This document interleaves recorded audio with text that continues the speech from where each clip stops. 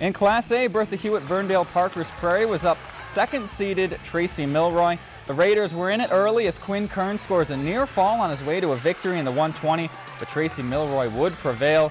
Aitkin drew the third-seeded Kenyon Wanamingo for their quarterfinal matchup.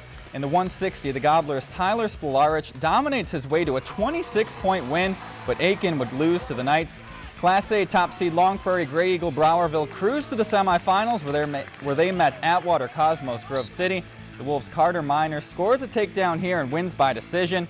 LPGE Browerville would win by nine to move on to the championship.